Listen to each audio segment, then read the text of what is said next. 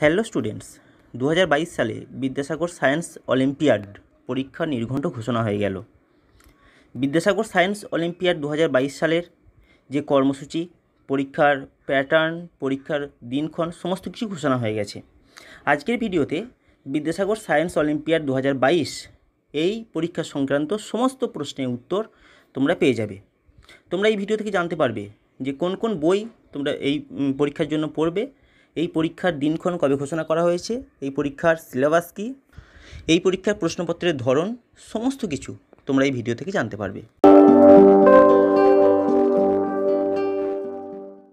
দেখো, Vidyasagar science olympiad এই পরীক্ষাটি পরিচালনা করে পশ্চিমবঙ্গ সরকারের স্কুল শিক্ষা দপ্তর এবং জগদীশ বোস জাতীয় বিজ্ঞান প্রতিভা অনুসন্ধান নামক যে প্রতিষ্ঠান রয়েছে, সেই প্রতিষ্ঠান। এই পরীক্ষাটি মূলত নবম শ্রেণির ছাত্রছাত্রীদের জন্য আয়োজিত হয়ে থাকে।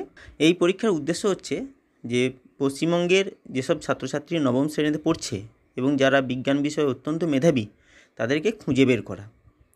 এবং একই সঙ্গে বিভিন্ন তরুণ মন নবম শ্রেণীতে পড়ছে এরকম ছাত্রছাত্রী, তাদের এই তরুণ মনকে বিজ্ঞান, প্রযুক্তি এবং নানা ক্ষেত্রে, বিজ্ঞানের নানা ক্ষেত্রে তাদেরকে সামনে নিয়ে আসা, তাদেরকে উৎসাহ দান করা। বিজ্ঞানের কর্মশালা এবং সেমিনার এইসব আয়োজন করে এই তরুণদের বা এই ছাত্রছাত্রীদের অনুপ্রাণিত করা হয় এবং বিভিন্ন বিশিষ্ট বিজ্ঞানী এবং প্রযুক্তিবিদদের সঙ্গে তাদের একটা আলাপচারিতার ব্যবস্থা করে দেওয়া হয়। তার জন্য এটা একটি প্ল্যাটফর্ম, অর্থাৎ বিদ্যাসাগর সায়েন্স অলিম্পিয়াড হলো একটি প্ল্যাটফর্ম যেখানে বিজ্ঞান বিষয়ে ছাত্রছাত্রীরা তাদের মেধাকে প্রকাশ করতে পারে এবং আরও উন্নত করতে পারে নিজেদেরকে। এই পরীক্ষার আরেকটা উদ্দেশ্য হলো এবং যেটা প্রধান উদ্দেশ্য সেটা হচ্ছে যে ন্যাশনাল এবং ইন্টারন্যাশনাল অলিম্পিয়াডের জন্য ছাত্রছাত্রীদের তৈরি করে দেওয়া, ছাত্রছাত্রীদের উপযুক্ত করে তোলা। কোন কোন ছাত্রছাত্রী এই পরীক্ষার জন্য আবেদন করতে পারবে? দেখো দু হাজার বাইশ সালে যেসব ছাত্রছাত্রী ক্লাস নাইন বা নবম শ্রেণীতে পড়ছো, তাদের মধ্যে থেকে এই পরীক্ষার জন্য সিলেকশন হবে। নবম শ্রেণীতে প্রত্যেক স্কুল থেকে পাঁচজন শিক্ষার্থীকে বেছে নেওয়া হবে। এই পাঁচজন শিক্ষার্থীকে বেছে নেবেন কে? স্কুলের প্রধান শিক্ষক কিংবা স্কুলের সহকারী প্রধান শিক্ষক বা ভারপ্রাপ্ত প্রধান শিক্ষক। অর্থাৎ সব ছাত্রছাত্রী এই পরীক্ষার জন্য আবেদন করতে পারবে না। একমাত্র স্কুলের প্রধান শিক্ষক বা সহকারী প্রধান শিক্ষক বা ভারপ্রাপ্ত প্রধান শিক্ষক এই ছাত্রছাত্রীদের বেছে নেবে।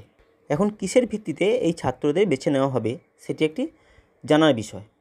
দেখো, যেহেতু দু বছর পরীক্ষা হয়নি, করোনা এবং লকডাউনের কারণে স্কুল বন্ধ ছিল এবং সে কারণে ঠিকঠাকভাবে পরীক্ষা হয়নি, সেজন্য ক্লাস সিক্সের যে বার্ষিক পরীক্ষা হয়েছিল, ক্লাস সিক্সের যে অ্যানুয়াল পরীক্ষা হয়েছিল, সেই রেজাল্টের উপর ভিত্তি করে যারা প্রথম বা শ্রেষ্ঠ রেজাল্ট করেছিলে, তাদের মধ্য থেকে পাঁচজনকে স্কুলের মাস্টারমশাই, কোলে- স্কুলের প্রধান শিক্ষক মহাশয় তিনি বেছে নেবেন। কোন কোন স্কুলের ছাত্রছাত্রীরা এই পরীক্ষায় বসতে পারবে?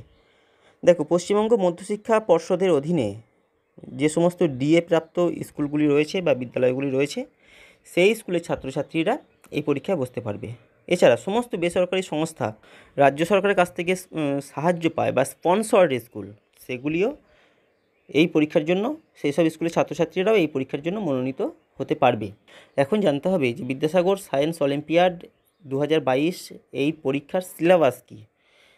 সিলেবাসটি হলো, পশ্চিমবঙ্গ বোর্ডের অষ্টম শ্রেণি পর্যন্ত বিজ্ঞানের যে সিলেবাস রয়েছে, বিজ্ঞান বই রয়েছে, সেইগুলি তোমাদের মন দিয়ে পড়তে হবে। অর্থাৎ ক্লাস এইট পর্যন্ত বিজ্ঞানের যেসব বইগুলো রয়েছে, সেই বইগুলো তোমাদের মনোযোগ সহকারে পড়তে হবে। এই পরীক্ষাটি মূলত তিনটে লেয়ার বা তিনটে স্তরে নেওয়া হবে।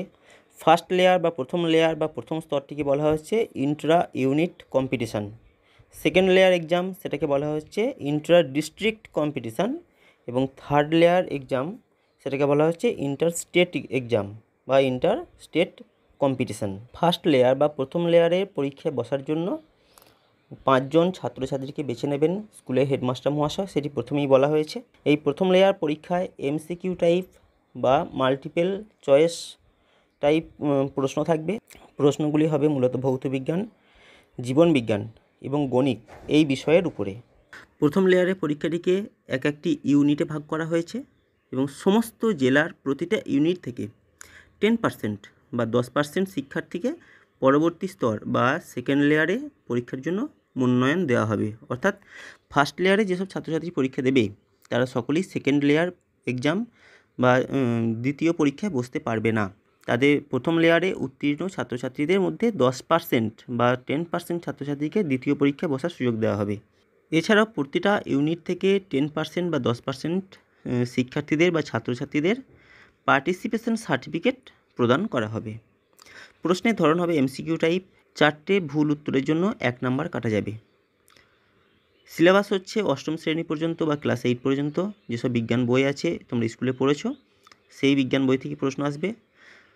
পূর্ণমান হচ্ছে একশো নাম্বার, অর্থাৎ একশোটি এমসিকিউ টাইপ প্রশ্ন থাকবে। ভৌত বিজ্ঞানে থাকবে চল্লিশ নাম্বার, জীবন বিজ্ঞানে তিরিশ নাম্বার এবং গণিতে তিরিশ নাম্বার। প্রশ্নপত্র হবে বাংলা এবং ইংরেজি উভয় ভাষাতে। পরীক্ষার তারিখ ঘোষণা করা হয়েছে, পরীক্ষার তারিখ হচ্ছে আটই মে রবিবার দু হাজার বাইশ সাল, অর্থাৎ আটই মে রবিবার ফার্স্ট লেয়ার এক্সাম অনুষ্ঠিত হতে চলেছে। সময় হচ্ছে বেলা বারোটা থেকে বিকাল তিনটে পর্যন্ত এই পরীক্ষা হবে। পরীক্ষার কেন্দ্র কোথায় হবে? প্রত্যেকটি ইউনিটের জন্য, জেলায় বিভিন্ন ইউনিট থাকবে, সেই বিভিন্ন ইউনিটের জন্য একটি করে পরীক্ষা কেন্দ্র থাকবে। আর প্রত্যেক ইউনিটের শীর্ষ তিনজনকে বই কেনার জন্য এক হাজার করে টাকা দেওয়া হবে। অর্থাৎ প্রত্যেকটা ইউনিটে যারা ফার্স্ট হবে ফার্স্ট, সেকেন্ড, থার্ড, এই সেই তিনজনকে এক হাজার টাকা করে দেওয়া হবে বইপত্র কেনার জন্য।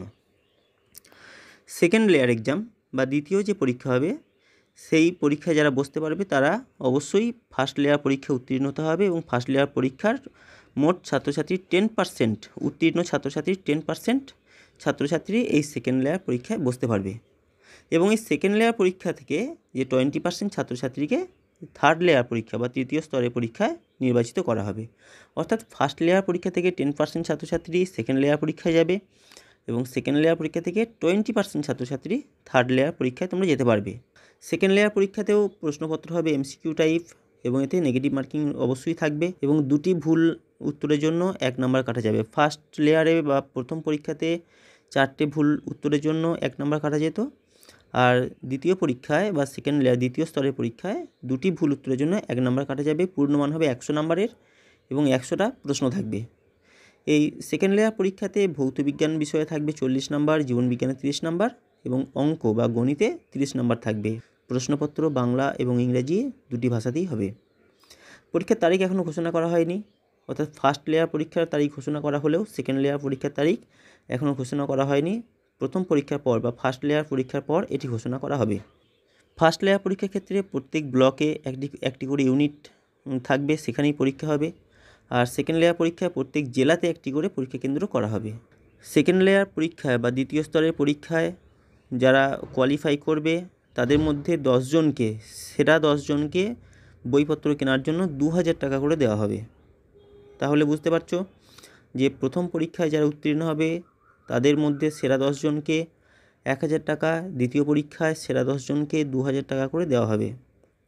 প্রত্যেক জেলা থেকে টোয়েন্টি পার্সেন্ট ছাত্রছাত্রীকে, অর্থাৎ মোট নশো ষাট জন ছাত্রছাত্রীকে এই তৃতীয় স্তরের পরীক্ষার জন্য বা থার্ড লেয়ার পরীক্ষার জন্য নির্বাচিত করা হবে। এবার আসি থার্ড লেয়ার বা তৃতীয় স্তরের পরীক্ষার বিষয়ে আলোচনায়।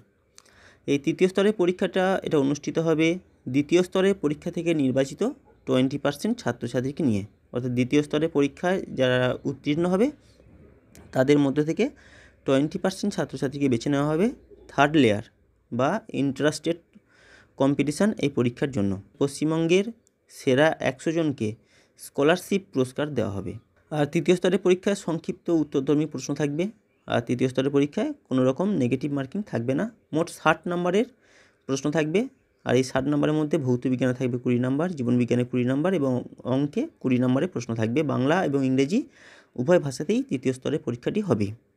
পরীক্ষার সময় অর্থাৎ তৃতীয় স্তরের পরীক্ষা কখন হবে সেই সময় এখনও জানানো হয়নি। প্রথম স্তর এবং দ্বিতীয় স্তরের পরীক্ষার পরে এটি ঘোষণা করা হবে। পশ্চিমবঙ্গের সেরা একশো জনকে বই কেনার জন্য দু হাজার টাকা করে দেওয়া হবে এবং নবম এবং দশম শ্রেণীতে পড়ার জন্য প্রত্যেক মাসে এক হাজার টাকা করে স্কলারশিপ পুরস্কার দেওয়া হবে।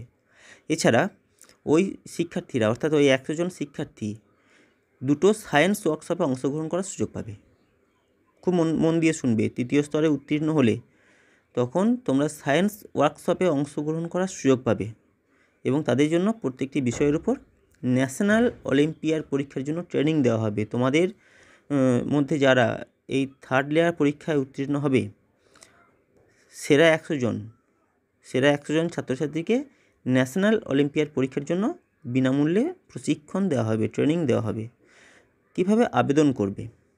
আবেদন অনলাইনে করতে হবে এবং আবেদন করার জন্য তোমরা নিজেরা সরাসরি ওয়েবসাইটে গিয়ে আবেদন করতে পারবে না। এটি তোমাদের স্কুলের প্রধান শিক্ষকের দ্বারা এই আবেদন করতে হবে বা প্রধান শিক্ষকের অনুমতি সাপেক্ষে এই আবেদন করতে হবে এবং আবেদন করার সময় বিদ্যালয় সংক্রান্ত বিভিন্ন তথ্য সেখানে প্রদান করতে হবে। এই ওয়েবসাইটে প্রদান করতে হবে। আবেদনপত্র জমা নেওয়া শুরু হয়ে গেছে, অর্থাৎ আবেদনপত্র গ্রহণ করা শুরু হয়ে গেছে এবং এই আবেদনপত্র গ্রহণ করা চলবে বা আবেদন সাবমিট করা শেষ তারিখ হচ্ছে বিশে এপ্রিল দু হাজার বাইশ। অর্থাৎ বুঝতেই পারছ আর একদমই সময় নেই, বিশে এপ্রিল বা কুড়ি এপ্রিল পর্যন্ত এই আবেদন করা যাবে। আবেদন করার জন্য তোমাদের লগ করতে হবে Vidyasagar science olympiad dot JBN STS AC dot in. এই এই ওয়েবসাইট থেকে তোমাদের আবেদন করতে হবে। টোয়েন্টিথ এপ্রিল বা বিশে এপ্রিল থেকে আটই মে পর্যন্ত তোমরা অ্যাডমিট কার্ড ডাউনলোড করতে পারবে। Vidyasagar science olympiad dot JBNST dot AC dot in এই ওয়েবসাইট থেকে তোমরা মডেল প্রশ্নপত্র ডাউনলোড করে নিতে পারবে। ভিডিওর একেবারে শেষে তারিখগুলো আবার বলে দিই যে, আবেদনপত্র শুরু হয়ে গেছে, পয়লা এপ্রিল থেকে শুরু হয়েছে এবং বিশে এপ্রিল পর্যন্ত চলবে। আর অ্যাডমিট কার্ড ডাউনলোড করতে পারবে বিশে এপ্রিল থেকে আটই মে এই সময়কালের মধ্যে এবং তোমাদের পরীক্ষা হবে আটই মে দু হাজার বাইশ সাল। অর্থাৎ আটই মে তারিখ অ্যাডমিট কার্ড ডাউনলোড করার শেষ তারিখ এবং সেদিনই তোমাদের পরীক্ষা হবে। পরীক্ষার সময়সূচি দুপুর বারোটা থেকে বিকাল তিনটে পর্যন্ত। প্রত্যেক ব্লকে একটি করে পরীক্ষা গ্রহণ কেন্দ্র থাকবে, সেখানে তোমাদের পরীক্ষা দিতে হবে। এবং তোমাদের অবশ্যই ক্লাস এইট পর্যন্ত যে সায়েন্সের বইগুলো আছে, জীবনবিজ্ঞান, ভৌতবিজ্ঞান, অঙ্ক, এই বইগুলো তোমাদের ফলো করতে হবে। এছাড়া, তোমরা যদি বইপত্র নতুনভাবে কেনাকাটা করতে চাও, নতুন- কোনো বই কিনে এই পরীক্ষা দিতে চাও, সেই বইয়ের লিঙ্ক এই ভিডিও ডেসক্রিপশন বক্সে দেওয়া থাকবে। সেখান থেকেও তোমরা উন্নত মানের বই কিনতে পারবে এবং এই পরীক্ষার জন্য ভালোভাবে প্রস্তুতি নিতে পারবে। এই ছিল আজকের আলোচনা। এই বিদ্যাসাগর সায়েন্স অলিম্পিয়াড সম্বন্ধে কোনো প্রশ্ন থাকলে, কোনো কিছু জানতে চাইলে অবশ্যই কমেন্ট বক্সে এসে কমেন্ট করে আমাকে জানাও। ভিডিওটি শেষ পর্যন্ত দেখলে এই জন্য অনেক ধন্যবাদ।